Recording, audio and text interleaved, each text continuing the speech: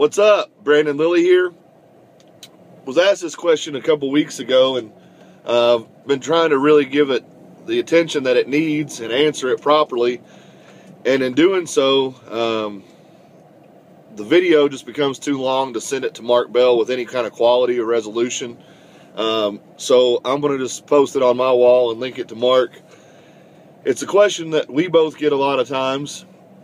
One, because uh, Mark is the inventor of the slingshot, and the other because I invented the cube, and Mark trains the cube, and I use the slingshot. So, um, to answer the question, how do you best implement the slingshot on the cube, or what do you think is the most effective way to do so? Um, this is it. You have three days in the rotation of the heavy, the rep day, and the explosive day. And then you have your bodybuilding day. Well, I don't really recommend using it so much on the speed day. We will from time to time, but our staples, or the days that we always tend to use the slingshot, are our heavy day and our rep day. And what I'll explain is, on our heavy day, there's a few ways that you can use it here. Let's say that for example, you work up to 405 for three sets of two or two sets of two. After that, we always try to recommend a 5 to 10% jump. So for 400 pounds, a 5% jump would be 20 pounds, a 10% jump would be 40 pounds. And we would try to stay within that rep scheme. A set of two with 420, a set of two with 440. Shut it down. What we're trying to do is to keep the jumps manageable, and realistic to what you'll actually be handling in the near future. Uh, it's one of the principles of the Westside method that Louie calls the future method. You don't use a weight that's so enormous that you're not actually going to be able to handle that. That's why some of the products that come out make no sense to me. Um, you know, like uh, one of the one of the slingshot competitors allows a person that normally benches five to five fifty to put 800 pounds that just makes it an ego lift. It doesn't really carry over. How does something that's as, as effective as a bench shirt actually carry over to your lift?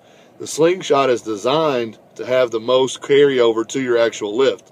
That's why, you know, Mark has made a name for himself with the product. It's been university tested and it's been approved. You know, it's been shown to be the most effective out there.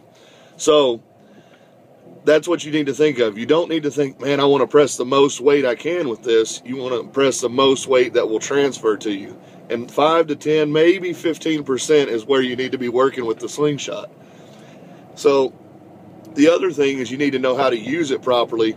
And that means not dropping it down and letting it bounce and rebound off your chest. That's what that's what the slingshot can do it, to maximize the amount of weight that you're lifting what you actually want to do is to drop it down, pause on your chest, let the let the slingshot get it going just a little bit, and then have your body do the rest of the work. That's the way you're going to maximize the slingshot. I see a lot of people just drop and press, drop and press, drop and press. That again brings out the ego side of the lifting, minimizes the effectiveness of the tool. That's why I think a lot of people say, well, the slingshot doesn't work or this, or the other. It's because they're not using it correctly know how to wear it and know how to use it. So, back to the heavy day. If you're going to take those 5 to 10% jumps and stay in the same rep range, that's what we do sometimes. Usually, do that earlier on in a cycle um, when we're still trying to, to develop some more muscle, develop some more strength. Towards the end, when we're trying to milk the strength going into a, into a contest, what we'll probably do is let's say we bench 400 pounds, we'll drop 10% back to 360. 40, 40 pounds off of 400 pounds is 360. And we'll drop down and do a rep set to failure. You know, it might be eight reps, it might be 10 reps, it might be 12 reps, whatever you can do. But make sure that you absolutely push to failure. And one of the things that we've started this cycle is really trying to extend our sets, not necessarily all the time, but we've been doing some rest pause type stuff. Uh, Jim Wendler just wrote a great article on 531 about using uh, rest pause. It's an absolutely great article. And rest pause is something that I started using uh, back in 2003 and 2004 when I was doing some bodybuilding and I was training with Dante Trudell, the uh, inventor of DoggCrapp. So be aware uh, that there's a couple ways you can use it on the heavy day. jumping up 10%, going down 10%. On our rep day, what we like to do is just do our sets. Let's say we had eight sets of three with 400. Okay. Well, after our eight sets of three, we would do one more set with the same weight and rep it out to failure. And then we might take another 5 to 10% jump and do another set to failure. That's worked out really well. Uh, the last time that I did this, I actually, instead of uh, jumping, I was using 365 for my work sets.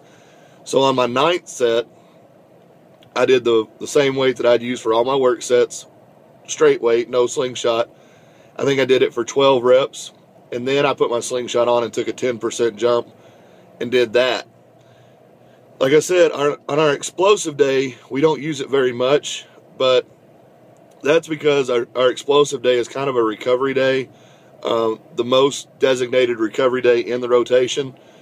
But if you're feeling like you can use it, another way to do that would just to be similar to the rep day, stay with the same weight, do some long extended pauses, and do just a bunch of reps with it. Um, the slingshot is really, really good for that. It's really, really good. Excuse me, because it helps get weight in your hands that you're going to be holding in the future to develop those tendons and bones. That's what a lot of guys don't don't think about. They only think about muscular strength. And that's why my problem, not to get way off sidetracked, but that's why my problem with getting beginners in gear too early. They don't have the bone and tendon strength to, to handle the weights that the gear allows them to do. So build that base up, and that's what the slingshot can do for you is you can wear it, use it properly, your bones will harden, your bones will get thicker, the tendons will strengthen, the muscle fibers will grow as well. Now, on our bodybuilding day, something we've been doing, um, it used to be that we only did shoulders, like overhead presses, and then we would go on and do bicep curls and calves. Those were the main three staples. But something we've thrown in at Berea Barbell is we've thrown in close grip bench presses. That seems to be something that universally, if you're doing close grip work, your bench press just strengthens. So we rotate weeks. Week one, we'll lead off with overhead presses and we'll do close grips as a secondary exercise for a lot of reps. Week two, we'll lead off with close grips, kind of heavier work, and then do overheads for a lot of reps. So those two are interchangeable. But what we'll do when we're wearing the slingshot We'll put the slingshot on for the close grip presses after our work sets. We'll do four to five sets of eight to 12 reps on our, um, on our rep day. We'll do four to five sets of three to six reps on our heavy day. And then we'll stay within those exact rep ranges with a 10% jump and try to just get some more reps that way. Or like on a heavy bench day, you drop down 10% and just rep it out.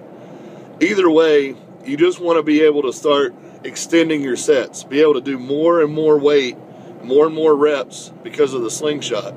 But remember, the number one thing that will make you better, no what, no matter what program you're on, is using the slingshot effectively, wearing it properly, pausing on your chest, learning how to press through the top with your arms. Don't rely on the slingshot to do the lift for you. The slingshot's just an assistance tool. It's a great tool. You can get it at www.howmuchyoubench.net. Um, if you have any further questions, you can message me via Facebook, via Twitter, or go straight to the source, Mark Bell. But I think it's a great tool. I think it's the best assistance tool for your bench press out there.